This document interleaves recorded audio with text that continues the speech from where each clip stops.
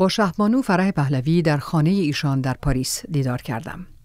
خانه ای که هر گوشه و کنارش و اشیاء آن یادآور ایران و یادگارهای زندگی ایشان در ایران است. خانه ای که همچنین مملو از آثار هنرمندان ایرانی است. شهبانو درباره مجموعه نادر و نفیس دیگری هم صحبت کردند که بیش از چهل سال پیش برای ایران گردآوری کرده بودند.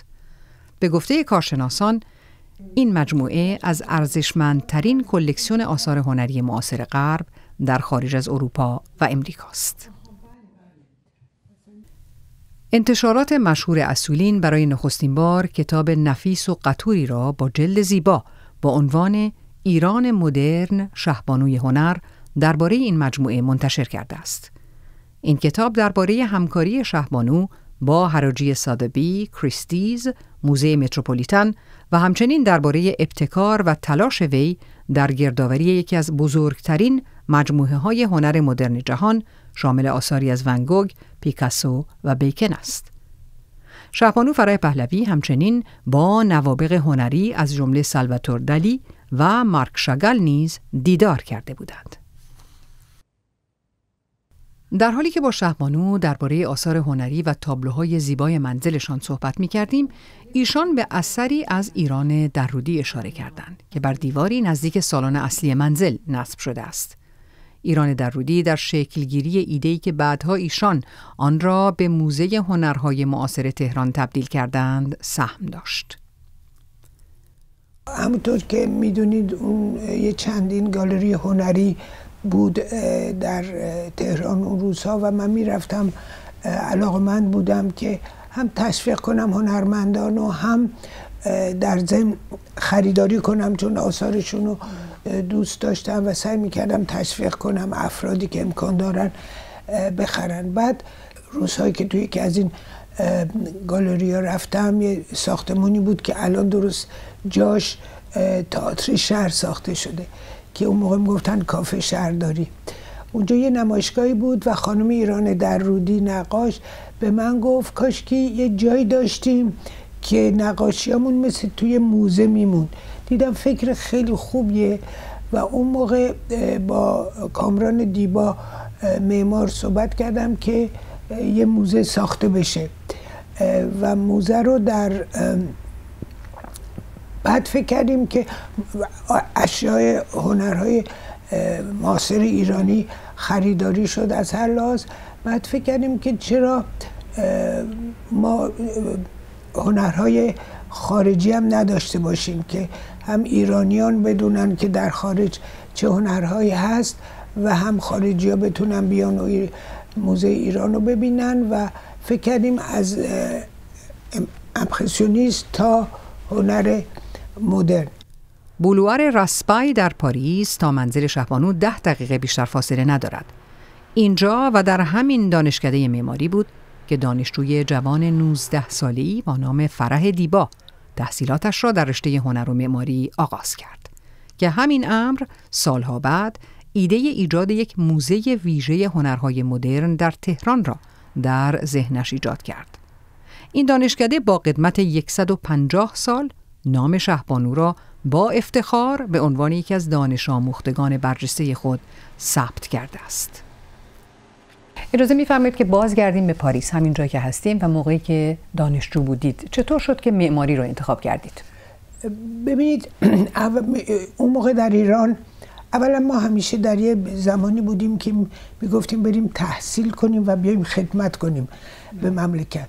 اون موقع بیشتر همه می‌خواستن آدم یا تو دکتر بشه یا تو دولت کار کنه و اینا. و بعد شاید چون دایی من که با هم زندگی می‌کردیم معمار بود نقشه می‌کشید و اینا من از بچگی همینطور که بیشتر چیزها رو در کتاب خاطراتم نوشتم که ممکن حال همه چیزهایی که میگم یادم نباشه. از بچگی می نشستم شمرون می‌رفتیم دم جوی آب خونه گلی می ساختم و نزدیک خونمون اگه بنایی می‌شد نگاه علاقمند بودم به معماری و علاقمند بودم که یه کاری رو بکنم که توی اتاق بسته نباشم. آزاد باشه بتونم برم و اینا. برای این معماری رو قبول کردم و دیگه آمدم پاریس. اون موقع معماری خانم ها اینقدر نمیخوندن. برای که تو اتلیه ما اگه پنج شش نفر پسر بودن شیش هفت دختر. و یادم میاد که پسرها می‌گفتن که دخترها میان معماری برای اینکه شوهر پیدا کنن. پس به هر حال از همون ابتدا علاقه داشتید به طراحی و نقاشی. بله. اگر اجازه بفرمایید یک عکسی هست می‌خواستم حضورتون نشون بدم در همون 19 بله. سالگی. در اتلیه دارید طراحی و نقاشی می‌کنید و نمی‌دونم خاطرتون هست بله خوب یادم چون تنها عکسیه که از مدرسه معماری مونده. بله. و این موقع کلاس نقاشی یه مجسمه هایی رو می آوردن میذاشتن و ما میبایستی از روی اون نقاشی کنیم. و یادم خب تا آدم بلد نباشه چجوری اندازه بگیر و اینا اینقدر خوب نمیکشیدیم و یادم معلم نقاشی می‌گفت شما شرقی ها پرسپکتیو رو نمیفهم چون فکر می‌کنم فقط ما مینیاتور بلدیم. بله. بعد خب بعد که من یاد گرفتم که چه جوری می‌دونین آدم اندازه می‌گیره از این ور از اون ور نقاشی خوبی که مجسمه ها بود میذاشتن نقاشی ها خوب می‌کردن و نمره خوب که می‌گرفتیم میذاشتن رو دیوار. و من نمره های چند تا نمره خوب گرفتم 18 رو 20 که البته خیلی کمک می‌کرد به معدل از اون طرحهای اولیتون چیزی رو نگه داشتید؟ یادم میاد که دو سه تا از این چیزها رو برده بودم ایران توی زیرزمین کاخ نیاوران بود حالا اگه هست یا نیست نمی‌دونم شهبانو فرح پهلوی بعد از سالها بار دیگر قلمویش را به دست گرفت. این تابلوها به صورت طرحنگاری برای بنیاد شاهزاده علیرضا پهلوی تهیه، توزیع و فروخته شدند و اواید آن نیز به حمایت از مطالعات ایران باستان در دانشگاه هاروارد اختصاص یافت. هر پنج تابلو در برلن در معرض دید عموم قرار گرفت. می‌خواستم بگم در مورد نقاشی یه مقدار بعدها بله. نقاشی کردم برای بنیادی که ساختم در درست کردم در دانشگاه هاروارد.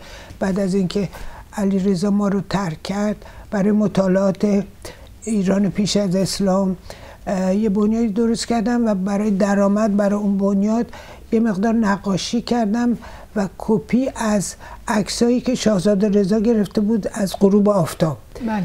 این داستان کارای نقاشی. من وقتی تصمیم گرفتید که به تنهایی سفر کنید به پاریس خانواده شما چه عکس عملی نشون داد؟ مخالفتی با این جریان بود؟ گفتید که آمدم پاریس اصلا مسئله نبود. برای که ببینید من در یه خانواده بزرگ شدم که چطوری بگم مدرن بودن. یعنی مادر من حتی اون موقع مدرسه ژاندارک رفته بود و پدرم هم تحصیل کرده بود قبلا در روسیه پیش از انقلاب روسیه و بعد تو فرانسه مدرسه نظامی و اون موقع خانواده البته خانواده تصمیم نمی گرفته که بعد من پدرم رو در نه سالگی از دست دادم مادرم بود و هیچ مسئله نبود. من قبل از اونم آمده بودم سفر به پاریس سال 1957 به عنوان پیشاهنگ در اردوهای پیشاهنگی رفته بودیم و یه چیزایی یاد گرفته بودیم برای پیشاهنگی اصلا مسئله نبود.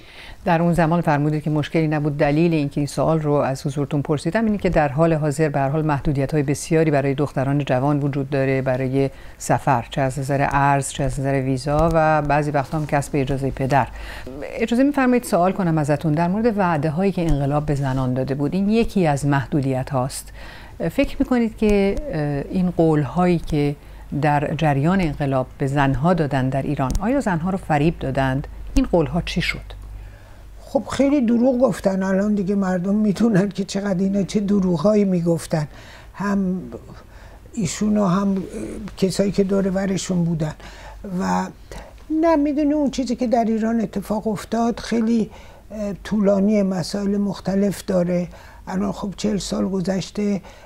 تو این شبکه ها من می‌بینم افراد مصاحبه می‌کنن و هر کی نظر خودشو میده که چی شد چی نشد و من همیشه دلم می‌خواد که بگم که الان دیگه یه چیزایی شده. درسته که از لحاظ تاریخی باید داشت ولی مهم اینه که امروز چه باید کرد برای نجات ایرانیا زن اگه تو این راه رفتن یه عده شاید باور کردن یه دلیل اختل... گرایش های سیاسی مختلفی که داشتن و واقعا وحشتناکه. برای که آدم می‌بینه اون موقع در ایران موقعی که بعد از 1963 که انقلاب سفید شد که آزادی زنان بله. داده شد خب خیلی حقوق به دست آوردن زنا و از هر لحاظ واقعا. و یادم میاد که انتخاب بشن وزیر بشن وکیل بشن هر کاری رو بکنن و یادم میاد که قوانینی که ما داشتیم مثل قانون اینی که موقعی که یه مادری حامله بود بله. تا هفت ماه حقوق و مزایاشو می‌دادن تو آمریکا هم چی چیزی شنیدم که نیست و اگر که مثلا نیمه یه مقدار کار می‌کرد در روز باز دوباره تا سه سالگی بچهش حقوق و مزایا رو بهش می‌دادن. و یه چیزی هم که مهم بود اونجایی که زنها کار می‌کردن مهد کودک ساخته شده بود که بچه ها در همون محل توی مهد کودک بودن. خیلی قوانین واقعا به نفع زنا شد. و من همیشه موقع که فکر می‌کنم البته خود من توی خانواده بزرگ شده بودم که اصلا برام مسئله نبود. می‌تونید بعد و همیشه فکر می‌کنم که به اون موقعیتی که رسیدم و همسر پادشاه شدم شانس اینه داشتم توی 20 سالی بود که ایران از هر لحاظ داشت می‌رفت جلو. یکی از کارهایی هم که شما انجام دادین اینی که سن ازدواج رو به 18 سال افزایش دادین. یکی از کارهای جمهوری اسلامی هم این بود که اصلا وحشت یعنی واقعا الان که میگین من محیطنم صاف میشه. یعنی حالم بد میشه که چطور ممکنه این بچه ها رو این قوانین رو گذاشتن. در که همطور که میگین زمان ما دخترها 18 ساله بود و پسرها 20 ساله ولی خوشبختانه این اواخر یه افرادی هستن که دارن صحبت می‌کنن و میگن برای که تغییر بدن. اصلا عجیب, عجیب که نیست. ما چهل سال دیدیم اینا در هر رشته چیکار کردن دیگه. همیشه شور و اشتیاق داشتید برای حمایت از حقوق زنان. چه کسی فکر می‌کنید در خانوادهتون این رو منتقل کرد به شما؟ ببین تو خانوادم همونطوری که مادرم با وجود که داریم حرف می‌زنیم از هفتاد سال پیش بله. فرق داشت با امروز همونی که تنها بود و قبول می‌کرد که من مدرسه برم پیشاهنگ بشم باسکتبال بازی کنم اردوهای پیشاهنگی برم خب همین نشون میده که مادرم روحیش باز بود و فراموش نمی کنم که الان موقعی که فکر می‌کنم بیشتر 65 سال پیش من با لباس کوتاه کاپیتان بسکتبال بودم. 65 سال پیش. آیا در مورد این فاجعه ای که پیش اومده یعنی این روند معکوس حقوق زنان با ایشون صحبت می‌کردید با مرحوم مادرتون؟ ایشون که خب خیلی روشن فکر بود بله. با وجودی که یه زن تنها بود آسون نبود در اون شرایط یه دختری رو تربیت کنند. ولی همطور که میگید افراد دیگه زنای دیگه بودن که در جامعه مبارزه می‌کردن. برای آزادی زنان و حقوق زنان من هیچ وقت فراموش نمی کنم که یه نامه دارم از پادشاه فقید به پدرشون رضا که موقعی که 17 دی شد ایشون سوئیس بودن و یه نامه به پدرشون نوشتن و چقدر اظهار خوشبختی کردن. که پدرشون به فکر زنا و خانوم ها هست به نظر می‌رسه که به حال در سیر زندگی شهبانو همیشه در موقعیت های بسیار دشوار و شرایط دشوار با روحیه بسیار مثبت و قوی از خودتون استقامت نشون دادید. رمز و راز این استقامت شما چیه؟ خود معروف شرلا ادامه پیدا کن. چیز ببینید اول باز بگم که خدا رو شکر در موقع که ایران بودم و تمام این سالا قوی بودم و سالم بودم از لحاظ فیزیکی. بله. و بعد وظیفه خودم می‌دونستم و نمی‌خواستم بذارم تلخی تو, تو دلم بیاد.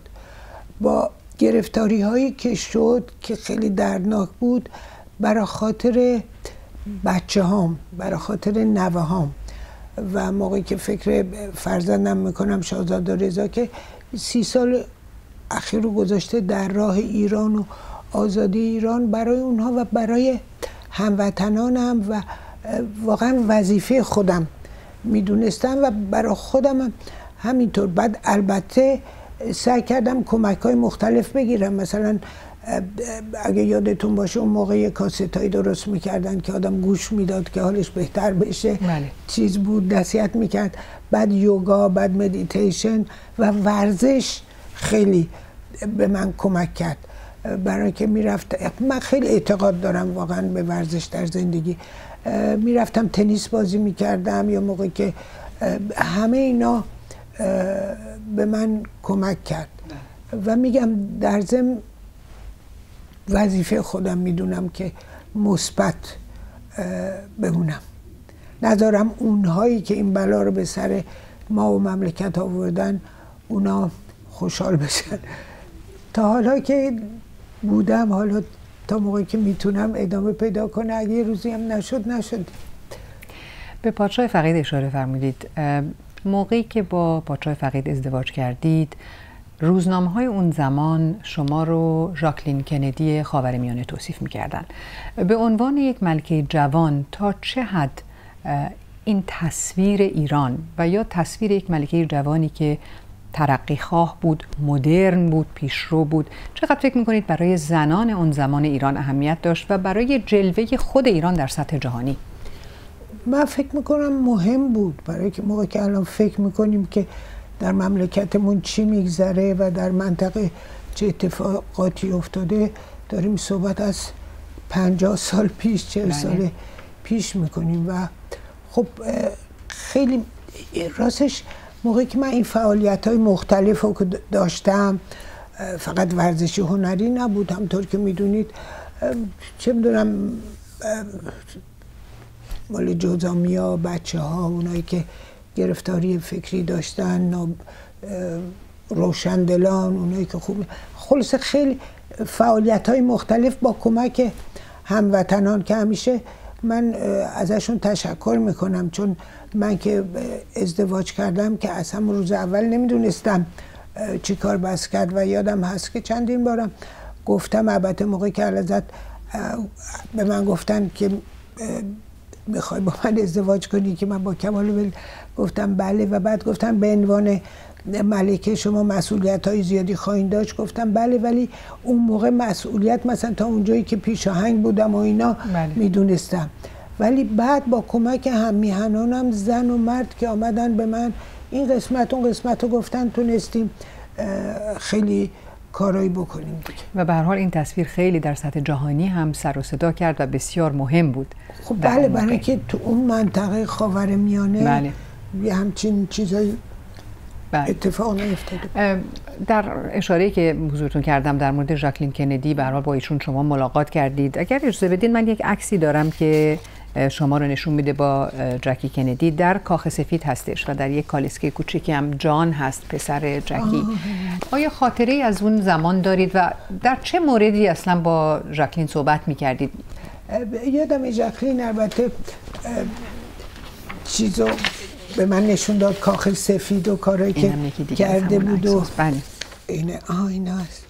جالب این عکس ها و اون وقت یادم همین منو برد با کوچولو جان. تو کالسکه بود بعد دخترشم بود نشون داد و بیشتر صحبت خانوادگی و اینا اینقدر حرف سیاسی بله. نمی زدیم اجازه بفرمایید که قدری به جلو بریم. زمانی که تاجگذاریتون بود در سال 1346 که نایب السلطنه شدید و در واقع نخستین زن در تاریخ ایران بودید که از حق اداره امور کشور و همچنین به عنوان کسی که فرماندهی قوای مسلح رو داره برخوردار شدید. تصور یک همچین چیزی که در جمهوری اسلامی ممکنه یک زن به یک همچین مقامی برسه تصور اون هم فکر می‌کنم غیر ممکن باشه. این که غیر ممکنه برای چیزهای کوچیکی جلوی زنان رو می‌گیرن حقوقشون گرفتن اصلا وحشتناکه. بله. اون موقع که علازت تاجگذاری شد و تاج به سر من گذاشتن همیشه گفتم که من حس کردم که این تاج روی سر تمام زنان ایران می‌ذارن. و واقعا ته دلم فکر نمی کردم که من مهم شدم می‌دونی یه جوری مثل که قبول می‌کردم که اینجوریه و بعد نیابت سلطنت خب خیلی مهم بود که بعضی باش موافق نبودن ولی خب مجلس رأی داد و نشون میده اهمیتی که اون موقع علزت به, به حقوق زنان, زنان. میذاشتن بله. و یادم ولیت که هفت سالش بود ولی اون موقع به قول معروف همه به اون متوجه شدن چون انقدر خوب رفتار کرد و مرتب رفتار کرد. به قول آمریکایی که میگن هیستولد شو واقعا همین بود. اجازه میفرمایید برگردیم به همین تلاش ها و ابتکار شما و اون کاری که در موزه هنرهای معاصر تهران انجام دادید. برخی از آثاری که در اونجا وجود داره ممنوع هست که مردم اونها رو ببینن. یعنی به نمایش گذاشته نمیشه به خاطر که جمهوری اسلامی نخواسته این کارو بکنه. یکی از اونها پورتری یک زن هستش از رنوار. در اون موقع که شهبانو در اونجا بودید آیا مشکلی بود برای به نمایش گذاشتن آثار فرهنگی؟ برگردیم به موزه نه اصلا اون موقع مسئله نبود که مثلا رنوار باشه. یا اصلا کسی اصلا یعنی پورتری خاصی از یه زن باشه؟ اصلا اصلا مطرح نبود. بله. واقعا اینا دیگه با کارهایی که دارن می‌کنن و به سر مملکت آوردن تو چهل سال حالا فرض کنین پورتری رنوار رو نشون ندین. چی می‌دونم نمی‌دونم از کجا در مورد نقاشی های دیگه چی؟ در مورد فرض بگیرید نقاش های دیگه که یهودی بودن. اون موقع خود شما با مارک شگل حال کارهای ارزشمند اون رو خریداری کردید برای این موزه و همچنین یکوف اگم آیا در اون زمان هم مشکلی بود صحبتی که اینها یهودی هستند؟ اصلا اصلا این مسئله نبود. من یادم اون موقع که ما مدرسه می رفتیم خب هم کلاسیامون یهودی بودن زرتشتی بودن باهایی بله. بودن عیسوی بودن. اصلا برای ما مسئله نبود. و دلیل اینکه من مطرح کردم این که در حال حاضر می‌دونید که مرتب شعار مرگ بر اسرائیل در ایران سر میدن هولوکاست رو زیر سوال بردن انکار می‌کنن و تا حتی یک مسابقه کارتون گذاشته بودن در مورد هولوکاست. چیزی که آخه می‌دونید شعارهایی که دیگه فکر نمی‌کنن که مردم می‌دونن. ما سفر رسمی به لهستان رفتیم. بله. و رفتیم آشویتس رو دیدیم که چه خبره. دیگه اینا هرچی اینقدر دروغ میگن و می‌خوان افکار عمومی رو از اون بدبختی هایی که به سر مردم آوردن ببرن یه طرف دیگه. ولی دیگه الان با این شبکه های اجتماعی که از بله. اینترنت و اینا دیگه نمی‌تونن. می‌دونین مردم خیلی حقایق و الان دیگه فهمیدن و می‌فهمن و بیشترم خواهند فهمید.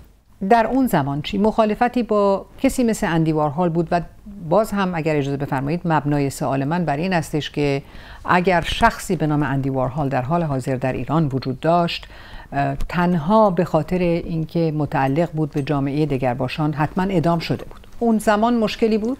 اصلا اصلا فکرشو نمی کردی می‌دونی؟ مسئله ای نبود. بله. و می‌دونی برای من خیلی دردناکه که بعضی وقتا همیهنان با ایمیل به من نامه می نویسم و بهشون تلفن می‌زنم و در نقاط مختلف ایران و بعضیاشون دگرباش هستن یا هم جنسگرا و میگن اگه پدر مادرمون بفهمن پدرمون ما رو می‌کشی یا اینا ما رو می‌کشن. یه کاری کنیم ما بیایم بیرون. ولی من خب در موقعیتی نستم نیستم که امکانات اینو داشته باشم که بیاد بیرون. بله. متاسفانه هست دیگه انقدر بدبختی ها در تمام زمینه ها هست ولی من هیچ وقت امید از دست نمیدم. بله. در مورد می‌خواستم آثار و مجموعه که در حال حاضر در هنرهای در موزه هنرهای معاصر تهران هست اطلاع دارید که از نظر نگهداری به چه صورتی است؟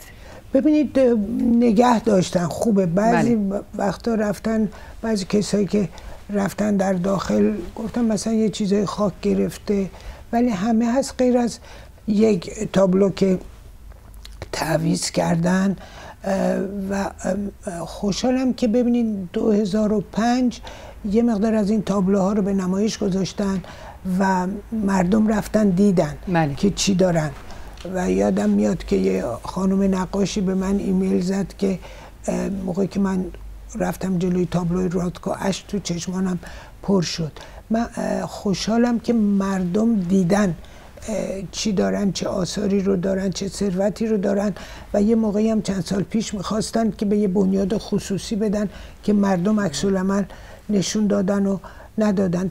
البته گفتید خوشحالید که مردم یک همچین چیزهایی رو دیدن اما کتاب ایران مدرن رو به نظر می‌رسه که به حال برای مردم ایران هستش برای ایران هست. اما شاید جوانها نتونن یک همچین کتابی رو ببینن برای که در پنهان و در خفا هست به هر حال از طرف جمهوری اسلامی فکر می‌کنید که نسل جوان در چه موقعیتی الان قرار گرفته و چی به اونها میگید؟ چگونه باشون صحبت می‌کنید؟ در ارتباط با موضوع کارهای هنری که الان خیلی ایرانیا جوونا می‌دونن که در مملکت چی بوده و چی شده و من همیشه میگم همینطور که می‌دونید اینا که آمدن خیلی کارهای هنری رو ممنوع کردن موسیقی رو ممنوع کردن و غیر و غیره. ولی میگم با تمام فشارها و سانسورها نتونستن خلاقیت هنری ایرانی رو بگیرن. برای که امروز از گروه های موسیقی محلی و گروه های موسیقی مختلف و درسته که خانم ها اجازه ندارن جلو آقایون بخونن و از این چیزایی که اینا در ولی تعداد گالری خیلی بیشتر شده.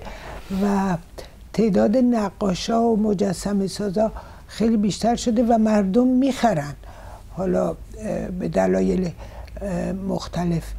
اون چیزی که به ایرانیا به جوانای ایرانی میگن با وجود تمام مشکلاتی که دارن اینی که روحیه رو از دست ندن. همیشه امیدوار باشن با هم هم بستگی داشته باشن و ببینید خیلی ها الان دارن صحبت می‌کنن راجع به این چهل سال که گذشت چی شد چی نشد و امیدوارم در این رسانه های مختلف این آقایونی که نظرهای مختلف دارن بیان الان دیگه نگن چی شد چی نشد بگن الان چی کار کنیم چی کار نکنیم چه جوری کمک بشه به داخل چون گذشته که دیگه گذشته نمیشه برگشت و همونطوری که فرزندم شاهزاده رضا میگه امیدواریم که یه ایرانی دموکراسی در ایران باشه جدایی دین از دولت حقوق بشر آزادی زنان آزادی مذاهب از همه مهمتر واقعا یک پارچگی ایران. چیزی که می‌تونم بگم می‌دونم چه سختی اصلا وحشتناک اون چیزایی که آدم میشنوه. که امروز زنان به خصوص کارگران دانشجویان معلمین حقوق بگیرا بچه ها چه بدبختی هایی چه گرفتاری هست ولی امید رو از دست ندن و فردای ایران فردای بهتری خواهد